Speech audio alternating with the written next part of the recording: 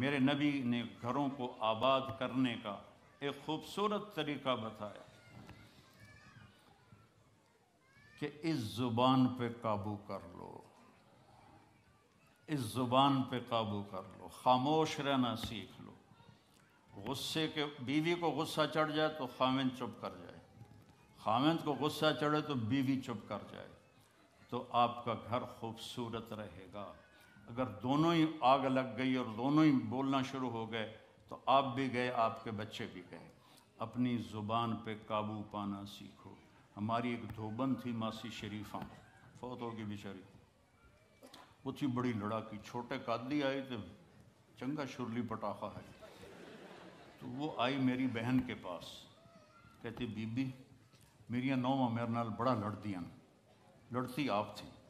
मेरिया नौवा मेरे नाल बड़ा लड़दियाँ मैंने कोई तवीज़ दे कि सारिया मेरिया नौकर बन जाना अब मेरी बहन को तो पता था कि माशाल्लाह आप सवा शेर है तो मेरी बहन तवीज़ गंडे का हमारे मुल्क में बड़ा रवाज है तो ऐसे उल्टी सीधे लकीरें लगा के ना तो रोल करके छोटा सा बना के ना कहा कि मासी जब तेरी लड़ाई होने लगे तो ये तावीज़ तुमने यहाँ रख लेना और चक मार लेना ऐसा और इसको गिरने नहीं देना। गिर गया तो वह तेरी खैर कोई नहीं। और उसने क्या किया? उसको चुप करवाने का तरीका। तो तवीज़ की तो बड़ी अहमियत होती है। तो एक हफ़्ते के बाद आ गई। बीबी, तू तो बड़ा चंगा तवीज़ दिता। सारी लड़ाई ख़त्म हो गई, क्योंकि मासी शरीफा चुप हो गई। तो ये सब इन औरतों को भी तावीज़ देता हूँ, मासी शरीफा वाला आपको भी देता हूँ। मासी शरीफा वाला तावीज़ ले लो। आपकी ज़िंदगी बड़ी खुशहाल हो जाएगी।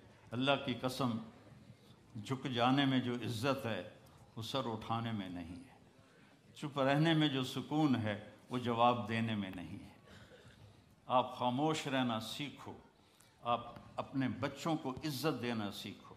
अपने बच्चों को टाइम दिया करो। यहाँ मर्द की भी जॉब है, औरत की भी जॉब है तो बच्चे नज़रअंदाज होते हैं। उनको टाइम दो। मेरे नबी ने फरमाया, अक्रम औलादकुम, अपनी औलाद को इज़्ज़त दो।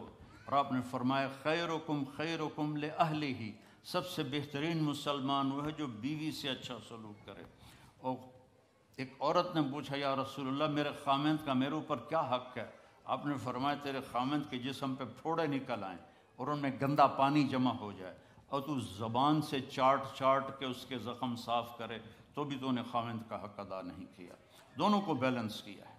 बेहतरीन मुसलमान वो है जिसका बीवी के साथ अच्छा सलूक हो। आपने ग्यारह शादियाँ की। ये शौक़ की नहीं थी। ये अल्लाह के हुक्म की थी और हमें ज़िंदगी समझाने के लिए थी कि आप यहाँ रहो या कहीं और जगह रहो। जब तक आपको सब्र और बर्दाश्त करना नहीं आएगा, आपकी ज़िंदगी खूबसूरत नहीं हो सकती। गुस्से को पीना सीखो। गुस्से को दबाना सीखो, गुस्से के वक्त चुप रहना सीखो तो आपकी ज़िंदगी बड़ी खूबसूरत हो जाएगी, बहुत हसीन हो जाएगी। ज़िंदगी अंदर है, बाहर नहीं। अब रोज़ राइस में चढ़ के कोई अच्छी ज़िंदगी नहीं गुजार रहा है। लाइफ तो अंदर है।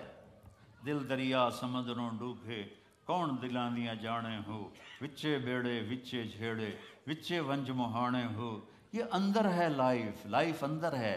और क्या लुत्फ अंजमन का जब दिल ही बुझ गया हो, जब अंदर बुझा हुआ हो तो फिर बाहर की चीज़ें कोई मज़ा नहीं देती। आसिम के मरने के बाद हमें कोई शायद अच्छी नहीं लगती, हालाँकि लाइफ हर नेमत मौजूद है, सब कुछ मौजूद है। मेरे बेटे का नाम आसिम था जो फौत हुआ अभी जब छत्तीस साल की उम्र में। तो कोई शायद अच्छी नहीं लगती कि अंदर वीरानी आ गई। ये अंदर में खुशहाली हो, इसके लिए सिर्फ़ एक ही दवा है वह है मोहम्मदी बनना और मोहम्मदी अखलाक को इख्तियार करना। अल्लाह के नबी के तरीके पर चलते हुए अपनी जान से लड़ाई लड़ना।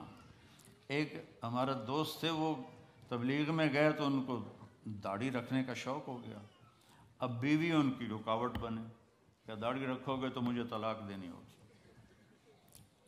अब वो काफ़ी देर बेचारे सोचते रहे। एक दिन उनको तरकीब सूझी। आके बेगम से कहने लगे, मेरा जी चाह रहा है कि मैं दूसरी शादी करूँ, लेकिन मैं सोचता हूँ पहले दाढ़ी रखूँ या पहले शादी करूँ। तो उनकी बेगम ने कहा, पहले दाढ़ी रख लो, पहले दाढ़ी रख लो। तो ऐसे अपनी बेगमात को मनाओ प्यार मोहब्बत से। इज़्ज़त तो नबी के तरीके में है नबी का तरीका छोड़ के मेरा वालिद मुझे डॉक्टर बनाना चाहता था। तो आज मैं यहाँ खड़ा होता, अगर मैं डॉक्टर होता, मेरा छोटा भाई डॉक्टर है, बहुत आला डॉक्टर है। तो मैं यहाँ खड़ा होता, मुझे यहाँ मेरे नबी का तरीका लेकर आया है, मेरे नबी की सुन्नत लेकर आई है, मेरे नबी की ज़िंदगी लेकर आई है, और आप जिस मोहब्बत से तशरीफ़ लाए हैं, उसके पीछे मेरे नबी की ज़िंदगी है। तो अल्लाह की कसम इज़्ज़तों का ख़जाना है मेरे नबी की पाकिज़ा ज़िंदगी।